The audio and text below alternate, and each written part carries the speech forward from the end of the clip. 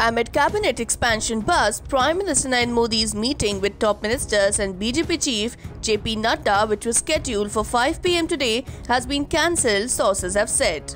A discussion on performance of ministers and proposals on future schemes was believed to be the agenda of the meeting. Home Minister Amit Shah, Defence Minister Rajnath Singh, Finance Minister Nirmala Sitharaman and other union ministers Dharmendra Pradhan, Pralhad Joshi, Piyush Goyal and Narendra Singh Tomar were expected to attend the meeting. PM Modi held a meeting with top ministers on June 20th to review the functioning of the government in the last two years. The Union Cabinet, which can have 81 members, currently has 53 ministers. This means that 28 ministers can be added.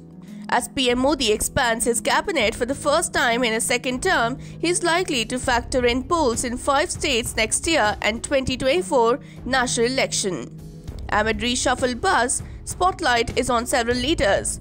Jyotiraditya Scindia, former Assam Chief Minister Sarbananda Sonowal, and Pashupati Paras, who led the Lok Janshakti Party coup in Bihar against ex-Union Minister Ramvilas Paswan's son Chirag Paswan.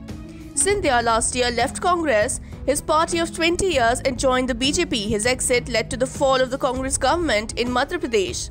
Sonowal made way for Himanta Biswa Sarma as Assam Chief Minister after BJP won a second term.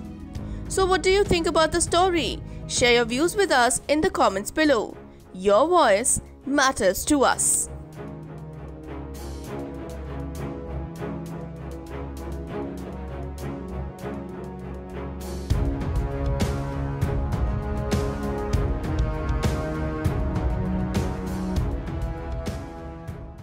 Subscribe to One India channel and never miss an update.